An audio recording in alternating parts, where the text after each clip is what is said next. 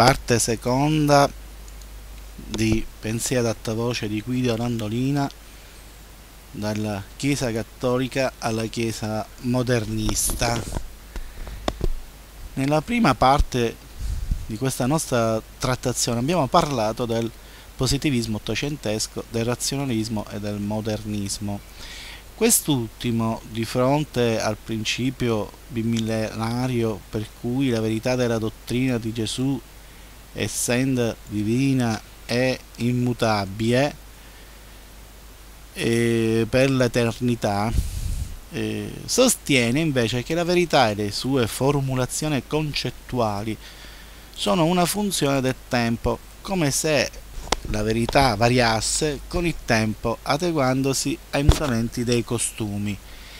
Il moderno comporta in nuce un disprezzo della tradizione intesa come oscurantismo oppressivo. Adolf von Arnach è stato un teologo e storico delle religioni tedesco, uno dei più importanti teologi protestanti di fine XIX ed inizio XX secolo. A proposito del soprannaturale, egli aveva scritto: È per noi fuori discussione che tutto ciò che avviene nello spazio e nel tempo obbedisce alle leggi naturali del movimento e che, conseguentemente, i miracoli, intese come infrazioni all'ordine naturale, non sono possibili, che una uh, procella sia stata sedata con una parola è cosa che non crediamo e non crederemo mai. Del suo mh, pensiero si legge che alle origini la fede cristiana e la filosofia greca siano così intrecciate che molti elementi non essenziali al cristianesimo penetrarono nella dottrina cristiana, per cui i protestanti non erano soltanto eh, liberi di criticare i dogmi, ma dovevano anche criticare ogni concezione dogmatica. Il modernismo è dunque contrario alla dogmatica. E il modernismo contro il quale si era scagliato San Pio X con l'enciclica Pascendi Dominici Grecis eh, del 1907 definendolo sintesi di tutte le eresie è tuttavia acqua di rose rispetto al neomodernismo odierno che sembra come ai tempi della post- dell'apostata vescovo Ario avere invaso la mente di una buona parte delle attuali gerarchie ecclesiastiche. Non è un'ideologia attiva solo nel protestantesimo, ma lo è ora diventata anche nel cattolicesimo. Se fino a qualche decennio fa lo era solo nel cattolicesimo d'avanguardia, oggi il modernismo pare essere diventato il pensiero dominante. Benché esso neghi di volerlo fare, in realtà di fatto tende a rovinare la fede cristiana svuotandola gradualmente di contenuti forti, riducendola a un sistema di semplici acconché apprezzabili norme morali senza alcuna valenza spirituale divina in rapporto a una salvezza futura dell'anima che viene peraltro anche messa in dubbio. Come abbiamo letto nella nostra prima parte, la trascendenza divina, secondo positivisti e modernisti, non sarebbe altro che la proiezione mitica di un certo timore mitico collettivo provato dall'uomo. Seguendo questa nuova filosofia si finisce dunque, pur dichiarandosi cristiani, per negare Gesù Cristo come uomo Dio, cioè la sua doppia natura divina per parte di Dio ed umana per parte di Maria e conseguentemente anche tutto il suo progetto di redenzione dell'umanità. Se Gesù non era infatti Dio, non può essere stato il Verbo incarnato. Se peccato originale dei primi due, che ha escluso l'umanità dalla possibilità di essere riammessa al paradiso celeste a causa della macchia d'origine, è solo un mito, il mitico Verbo non può essere eh, poi incarnato per redimere l'umanità da un esistente peccato originale. In questo quadro l'Eucaristia non è più il sacramento contenente per transustanziazione il corpo e sangue, l'anima e la divinità di Gesù, ma è solo un simbolo come lo ritengono già altre confessioni protestanti. La confessione sacramentale non è più necessaria come neppure alla fin fine l'istituzione del sacerdozio, è stato sempre considerato nella Chiesa di Pietro fin dalle origini e come lo abbiamo conosciuto fino ad oggi in ambiente cattolico. Gesù, quale uomo, non può essere risorto perché il miracolo non è contemplato dai modernisti. Infatti, a loro avviso, non si può eh, forzare le leggi di natura e conseguentemente Gesù Cristo non è neppure sceso a cielo, essendo questo raccontato mh, una mitizzazione della sua figura umana che in seguito sarebbe stata divinizzata dai suoi discepoli. Il miracolo non è contemplato? Ma allora come si spiegano ad esempio tutte le celebri guarigioni miracolose accertate come tali? Perché hanno forzato le leggi di natura, fatto ammesso persino dalla scienza non credente? Essendo dunque Gesù considerato meramente un uomo, non ha, non ha anche alcun senso, secondo i modernisti, la venerazione della Madonna quale madre di un Dio, culto che taluni teologi, persino cattolici, hanno spezzamente definito madonnismo.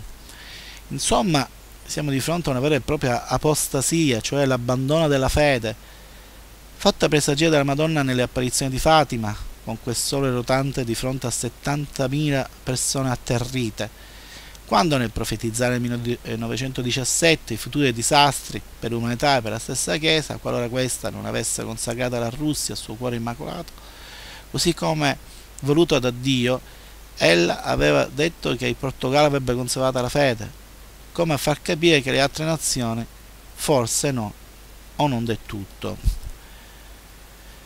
Quanti saranno i sacerdoti che reciteranno oggi il credo apostolico ancora convinti delle affermazioni ivi contenute? Come potrebbe infatti un Gesù uomo sedere alla destra di Dio Padre Onnipotente? E come potrebbe venire a giudicare alla fine del mondo i vivi e i morti? Che dire infine della risurrezione dei corpi? In questo quadro positivista, razionalista e modernista corona anche i principi morali e spirituali della legge naturale. Una legge incisa a caratteri indelebili da Dio nell'anima che egli crea per ogni uomo appena concepito, affinché sappia come umanamente condursi in vita anche senza conoscere la religione giusta.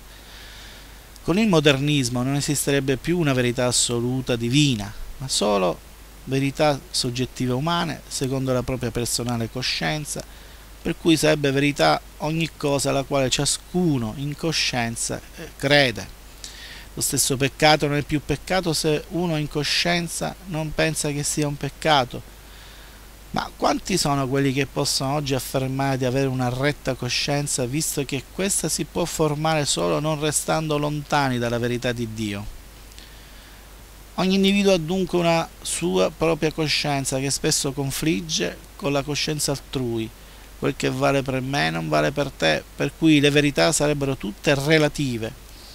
Si è così arrivati oggi a quello che Benedetto XVI ha definito la dittatura del relativismo. L'unica verità riconosciuta sarebbe in definitiva quella della scienza che studia il sensibile materiale e non, tras- e non ammette il trascendente invisibile perché non osservabile sotto un microscopio.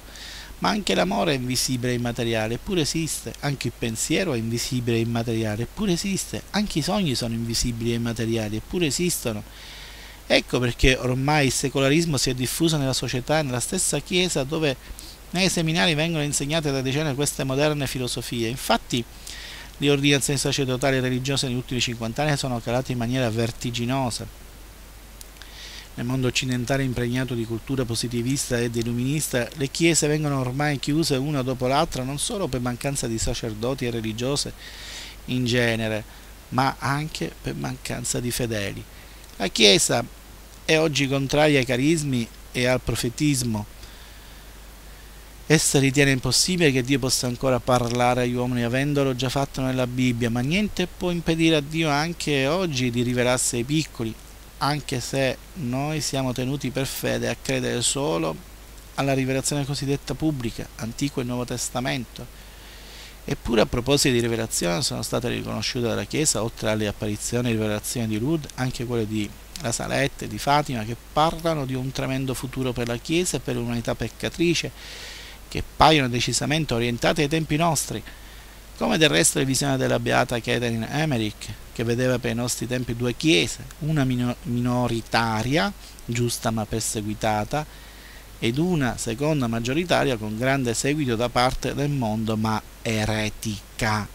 La grande mistica Maria Bartotta ricevette il 20 agosto 1943, vedi i quaderni del 1943, una tremenda rivelazione sui futuri tempi anticristici, dei quali Gesù le diceva sarà persona molto in alto, in alto come un astro, non un astro umano che brilli in un cielo umano, ma un astro di una sfera soprannaturale, il quale, cedendo alla lusinga del nemico, conoscerà la superbia dopo l'umiltà, l'ateismo dopo la fede, la lussuria dopo la castità, la fame dell'oro dopo l'evangelica povertà, la sete degli onori dopo il nascondimento, e poi ancora, a premio della sua biura, che scrollerà i cieli sotto un brivido di orrore, e farà tremare le colonne della mia chiesa nello sgomento che susciterà il suo precipitare, otterrà l'aiuto completo di Satana, il quale darà adesso le chiavi del pozzo dell'abisso perché lo apra. E infine, non vi resta che pregare, del resto a voi non tocca gustare quell'orrore e perciò per coloro che lo dovranno subire, perché la forza non naufraghi in essi e non passino a far parte della turba di coloro che sotto la sferza del flagello non conosceranno penitenza e bestemmieranno il Dio in luogo di chiamarlo in loro aiuto. Molti di questi sono già sulla terra e il loro seme sarà sette volte sette più demoniaco di essi. Dall'Apocalisse di San Giovanni, una rivelazione di duemila anni fa, ma che riguardava i tempi dei secoli futuri, non si potrebbe escludere che ci si trovi oggi nella fase della quinta tromba suonata dall'angelo di Dio, al cui squillo un astro precipiterà dal cielo sulla terra e si apriranno le porte dell'inferno. L'astro che precipita sulla superficie terrestre, al di là del termine che potrebbe essere simbolico, potrebbe forse allegoricamente rappresentare in chiave non materiale ma spirituale l'impatto tremendo per l'umanità costituito proprio dalla manifestazione dell'anticristo. L'apertura delle porte dell'inferno significherebbe l'uscita di legioni di demoni pronti a sostenerlo e sarebbe il segnale d'inizio della grande battaglia di Armageddon.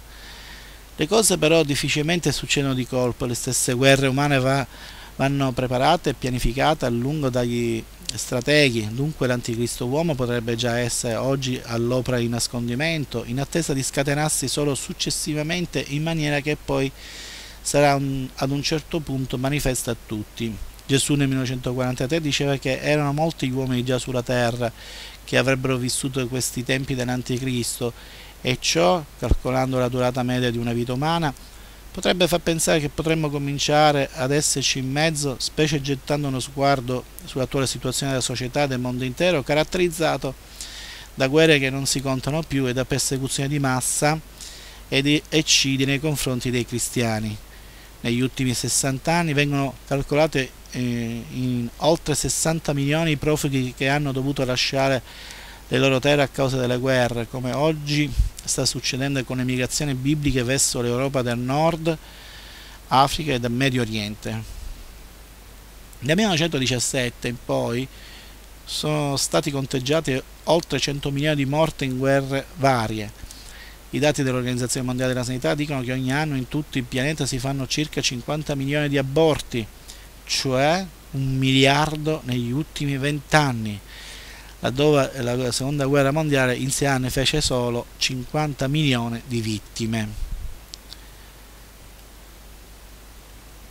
Parlando dell'anticristo uomo, in Apocalisse è il 666 un numero d'uomo, dobbiamo innanzitutto cominciare a pensarlo come spirito dell'anticristo e che quindi in quanto tale esso rappresenti un qualche importante entità demoniaca che si sprigiona dall'inferno e si diffonde come un gas sulla terra, offuscando le menti ed influenzando la condotta degli uomini come abbiamo sopra visto che sta succedendo.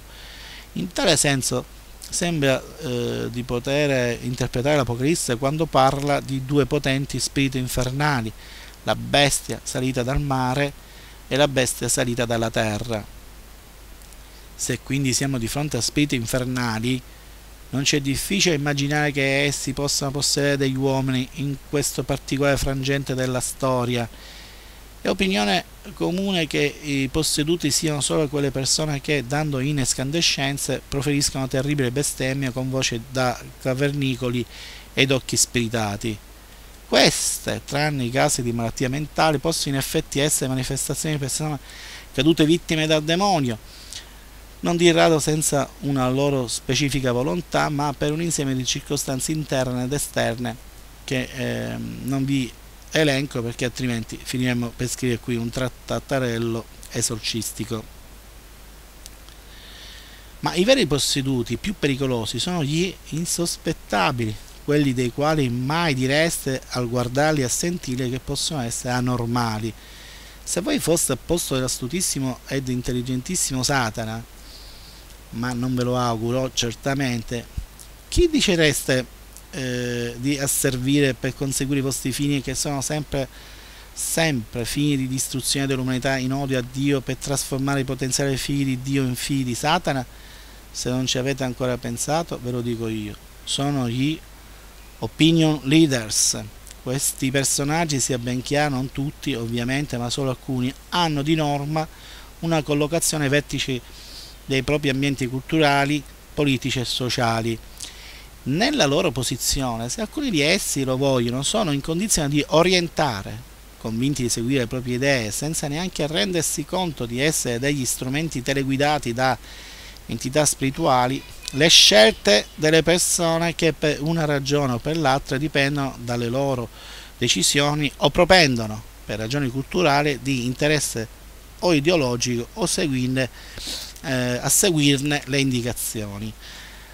Quali sono però gli ambienti sociali dai quali è più facile influenzare il comportamento degli uomini?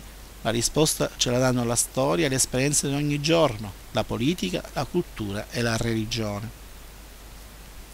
Dobbiamo però fare attenzione. La politica non è in sé negativa, anzi è una cosa necessaria alla organizzazione e allo sviluppo della società che altrimenti cadrebbe nell'anarchia. La vera politica va intesa come l'arte di organizzare quanto meglio possibile la convivenza fra persone con aspirazioni, interessi e necessità diverse. La politica diventa però negativa quando non è indirizzata ai suoi fini corretti, ma ad obiettivi di puro egoismo e, po- e potere come espressione dello spirito di potenza e prevaricazione umana. La cultura è positiva perché è quella che fa crescere intellettualmente e anche con la, la sua scienza e tecnologia fa progredire gli uomini. Essa diventa però un veleno micidiale quando le sue teorie, ideologie e scoperte scientifiche minano l'integrità morale e spirituale degli uomini, oltre che la loro sicurezza fisica e la pace in senso generale. La religione intesa in senso lato come sfera di interessi volti alla ricerca di Dio e del bene, più che utile e indispensabile, perché coloro che cercano veramente Dio, oltre a salvarsi l'anima, sono un, eh, sono un elemento di equilibrio di ordine sociale e familiare. Niente più del precipitare morale e spirituale dei capi religiosi trascina tuttavia la massa nella loro caduta. Se poi essi interpretano Dio nel modo sbagliato, lo osservano a propri inconfessabili interessi, magari anche politici, ecco che il disastro diventa completo.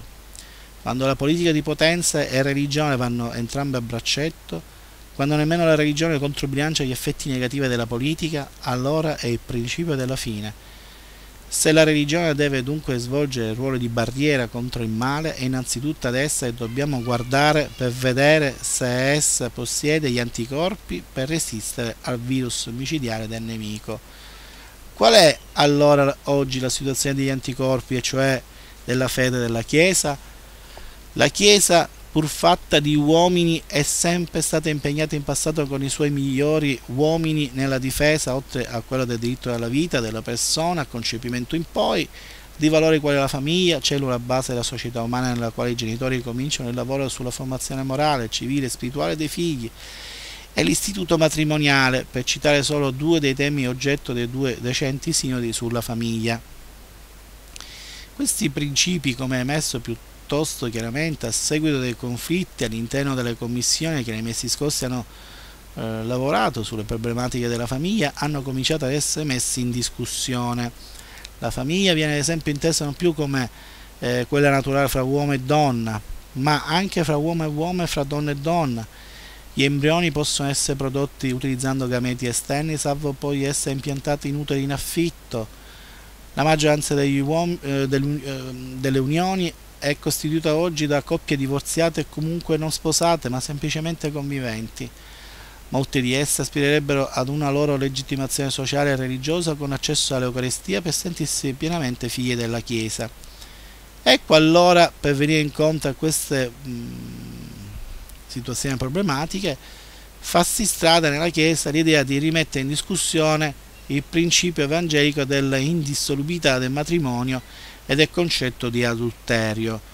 In sostanza si ipotizza ora un matrimonio un pochino meno indissolubile ed un adulterio che è un pochino meno adulterio, per cui ci si trova in queste situazioni potrebbe accedere in virtù della misericordia divina anche al sacramento dell'Eucarestia, grazie anche ad un alleggerimento dell'istituto della penitenza confessionale.